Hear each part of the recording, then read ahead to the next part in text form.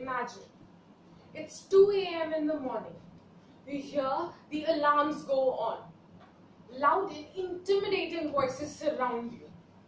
You have no clue what is going on.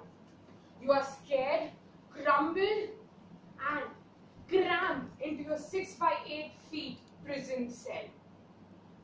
After a while, a guard enters into your cell, unlocks it, and escorts you to the end of a line. That line in turn ends into chambers. Chambers, when you enter, you are stripped off naked, in search of something you have no clue about. You're clueless, standing there ashamed. This is the life of a prisoner, where you are doubted upon, where you are actually questioned, interrogated at every mishap that ever happens in the prison. Good morning, Toastmaster of the Day, fellow Toastmasters and distinguished guests. I am here standing before you to decode the truth, the truth that goes behind the four walls of a prison. Before going into what happens inside the hellhole we call prison, let's understand and have a basic knowledge of what I want to make a point about today. White collar prisons. White collar prisons, as we know of, are corporate jails for the people who have offended or have been subject to non-violent crimes. These are the people who have actually done fraudulent activities just on a financial basis and nothing that violent. Hence, these people are being given a little extra freedom, as in the three things that extra which is being given to do are given to them.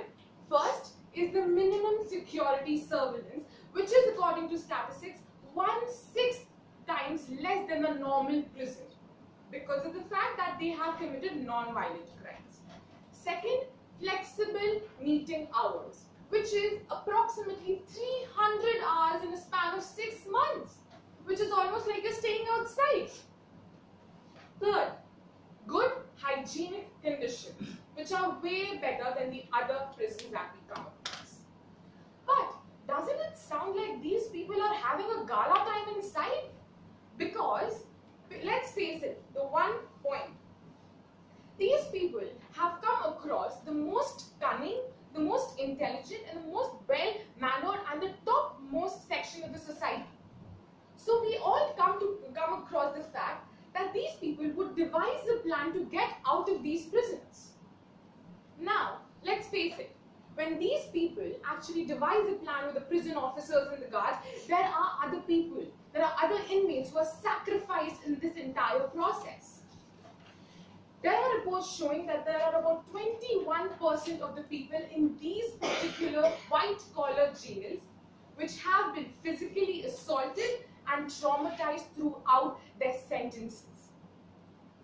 These people have been mentally tortured and they live in a psychological agony world.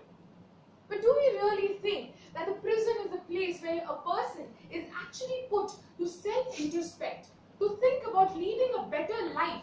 But is prison really a better place to live in? Is prison somewhere you can actually self-introspect? Do we think that? The answer is absolutely not.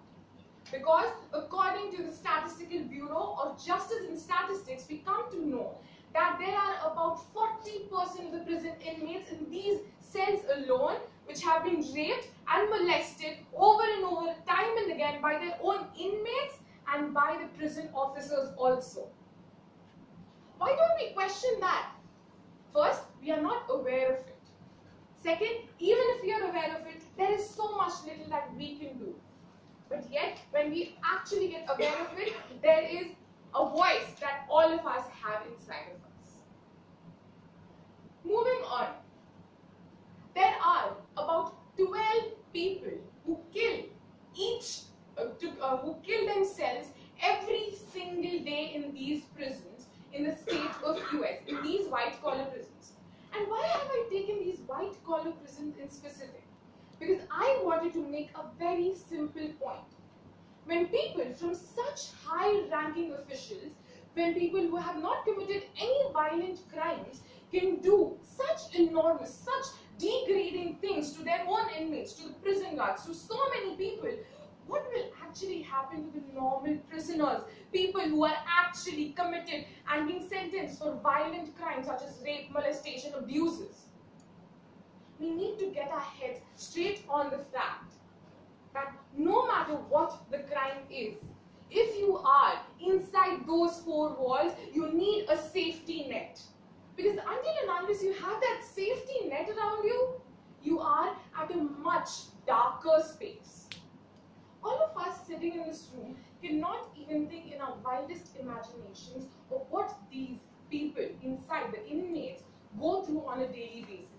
The mental, psychological trauma and agony, the pangs of loneliness that they go through. Because they have nobody to talk to.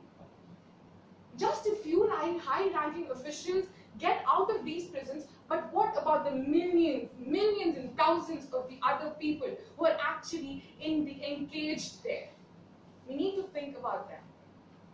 Gandhi once said, prison is a second by second death of a soul.